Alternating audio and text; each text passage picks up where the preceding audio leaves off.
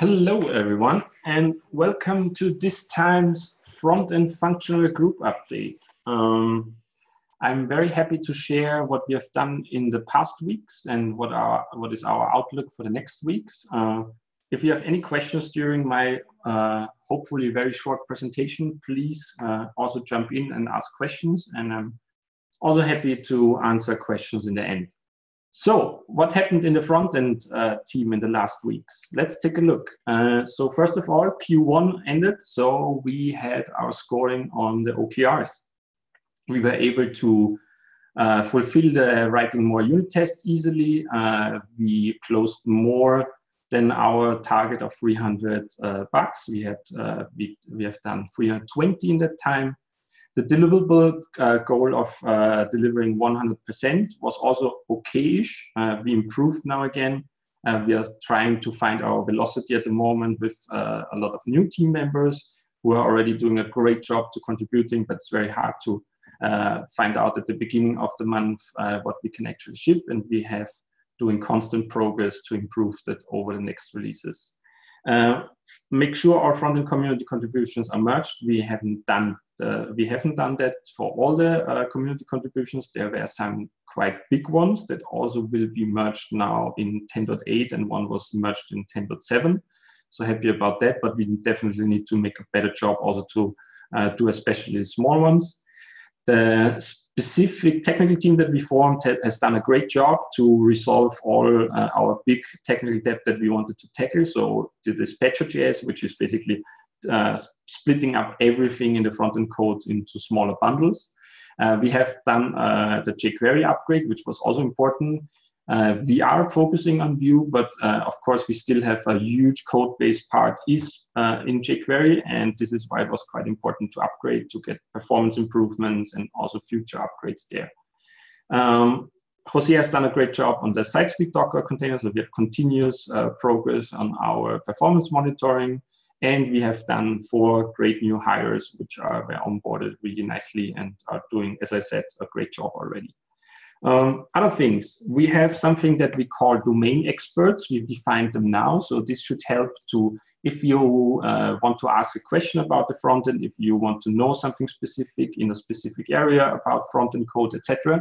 We have now a list of uh, assigned uh, domain experts. So we have Filipa, who uh, is the expert on CI/CD and the security product. We have Fatih for discussion, merge request views, uh, portfolio Kushal, web IDE Phil, and then we have also internal technical topics like security topics, Filipa, testing, Winnie, UI components, Clement, Webpack and tooling is Mike at the moment. The idea is to really have simply persons uh, that other people from the outside can contact, but that will be also targeted from the inside. So basically, they will do estimation and analyzing of new deliverables and should help us to streamline the big bunch of deliverables that we are getting in every month and uh, be simply responsible for that specific area. So you can read up more about that in the handbook. Um, we have something that is also new, is the front-end calendar that Clement created. So with front-end specific uh, calendar items that are happening.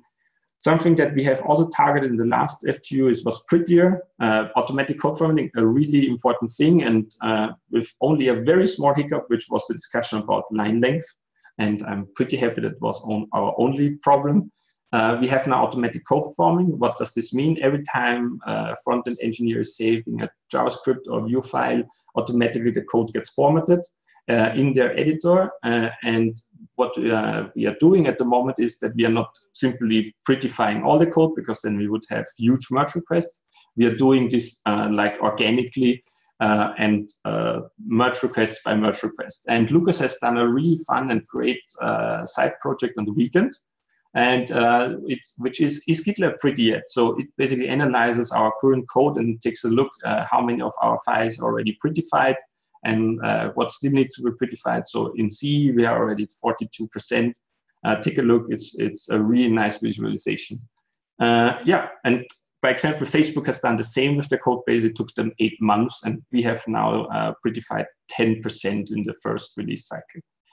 Uh, something else that we are working on is to uh, basically manifest all the learnings that we have done over the last month is a new development checklist, which is currently uh, in a merge request. Uh, the idea is to simply have a checklist about things that front-end engineers should think about during the planning of a development. So it's not for every tiny bit or small or medium task. This is really for big new features, big new refactorings, is to simply have a checklist like pilots have that uh, everyone can go through and simply be reminded of uh, architecture plans, how to speak to other people, what they need to consider, uh, that they should consider talking to security if there's a new feature, stuff that they should during development, like provide uh, GIFs and, and screenshots so that other uh, parties are also involved. So this is like our living document and we are discussing it at the moment. I'm really looking forward about the results uh, that this will give us. Um, yeah, those are the accomplishments and updates. Uh, what else did we do? We did we fi finished a lot of really great new features, which were, these are simply the ones that were very uh, front-end centric. So Kushal, for example, has done a great job with our Epic roadmap, which is a really UX and front-end intensive feature. Uh, Phil and Andre have done a great job with the Web IDE, which is now coming to general availability. So we have GIF viewing, we have uh, image viewing, you can open a merge request, simply try it out and give us feedback in the Web IDE channel. Uh, I think we have come already to a really nice feature set. Feature set, and in 10.8 there will be even much more uh, nicer features like finding files with a fuzzy file finder really fast and really nice. Uh, has done a great job on the project and group badges, uh, uh, which is also completely written uh, in Vue. It's a Vue application, which was also something nice to try out. Uh, uh Philippe has done the security uh, package implementation and the reports in CI. And there are a lot of more other and smaller features. I just wanted to highlight some of the very front-end centric.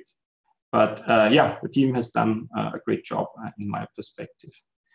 What is the outlook? Outlook Q2 OKRs, we want to concentrate again, delivering 100% of deliverables and improving that a lot. We want to uh, do something about uh, reusable Vue components, more on that later and we want to hire three new developers. Uh, so we currently have the luxury of having already one signed uh, for this month, and we have two more in the pipeline.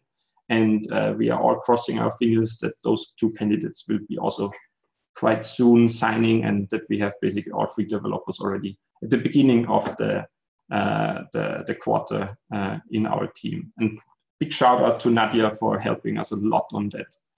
UI components. Um, as you have heard in the last functional group updates, our idea is to really go a component-based architecture so that we have reusable components that we can work on and can really boost our performance uh, in productivity. Uh, what started as a simply CSS refactor, that was the beginning of the plan for the technical team, uh, was now re-evaluated after like one and a half months, uh, how how fast it can go through the refactor and what we came up with is it, it is currently not an effective plan to do the refactoring first and uh, then afterwards go for the components. So what happened is that uh, the team was working on typography and markdown and now we made the decision and Clement is already very fast. We just got the update that uh, we are already in the final stages and uh, we are quite sure that we can do the upgrade in 10.8 already. So this means we are uh, converting uh, GitLab from uh, Bootstrap 3 to Bootstrap 4. What does this mean for us? This gives us the opportunity to use a component library that we will most probably choose, which is called Vue Bootstrap. And Vue Bootstrap simply gives us uh, all the components that Bootstrap has already as actual JavaScript components. So we can reuse that easily in, in Vue. And they are not just CSS classes, but they are something really uh, uh, reusable. And this is one part of our component-based uh, architecture. So we will simply will skin and style them so that they will work and uh, look like the components that we have in design.gitlab.com that was defined by the UX. And on the other hand, we will create our own GitLab specific components like project avatars, user pickers, info boxes for merge requests, and so on and so on, so that we really have like, we can put together uh, a bunch of components and have easy uh, very easily and very fast uh, uh, new features that we simply stick together. Yeah, and other improvements that we want to do on the workflow that I also already mentioned last time. And one big thing is that Mike will be working on already in 10.8 is upgrading to Webpack 4. Webpack 4 is a big thing in the JavaScript community at the moment because it's improving, of course, everything, uh, but it definitely will give us uh, performance improvements on build time, but also on execution time. I will take a look at the chat. Um, so, ah, there's, it's about the, the hiring. Uh, challenges, what are our biggest challenges in the next uh, month?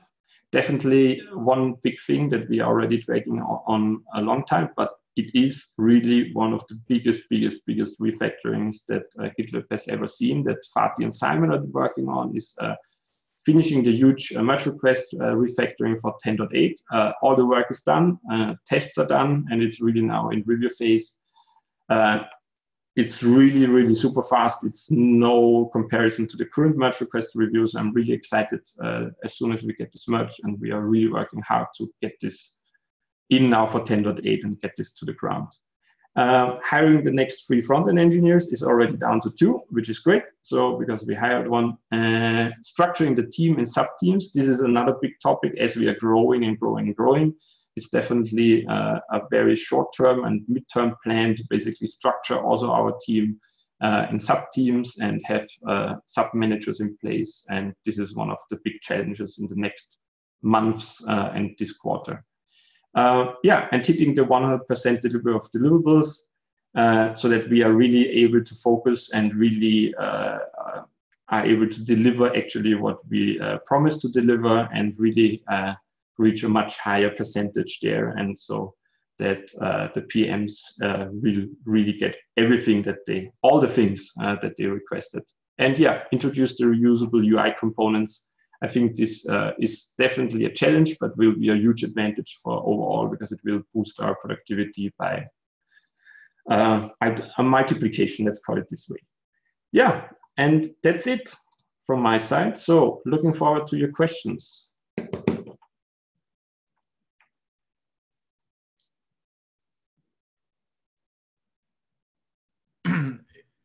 If we are so ahead on our OKRs, uh, do we get, or at the hiring OKR, do we need to pick a new one?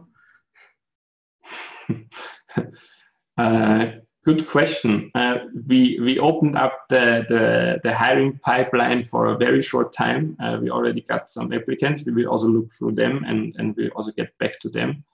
Let's see. Uh, as we really saved a lot of time, as Nadia wrote, there are a lot of applicants for the front end uh, thing so that we save a lot of time. So yeah, why not get another OKR and, and do a, another one? But perhaps let's, I would say let's concentrate first on the other two. Uh, uh, and as soon as we have also achieved them, we can find in something uh, more or simply not deliver just three components, but deliver 30.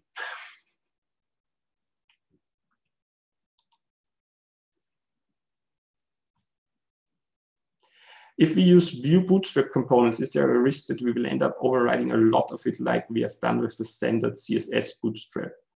Uh, no, uh, I hope not. It's really uh, what we will do with Vue Bootstrap is that we are then not tackling uh, CSS classes anymore. We have really, really like a, a component that has different attributes. You can't change anything to it. You really are forced to use a component in the first place. And the idea is to basically reset our whole CSS strategy from that moment on. And my long-term plan is really that if someone wants to change CSS, uh, they, they need to fill out first a 10 pages form before they are allowed to change anything in our CSS. So the, the as Clement also wrote now, it's really it's encapsulation of uh, of the component. So the, uh, we are not uh, saying anymore at this CSS class or this CSS class, we simply say this button is is representing uh, danger. That's I think one attribute that is called in Bootstrap and stuff like that. So you are not able to go around uh, much uh, as, as it is easy with CSS, by example. I hope that answered the question. exactly.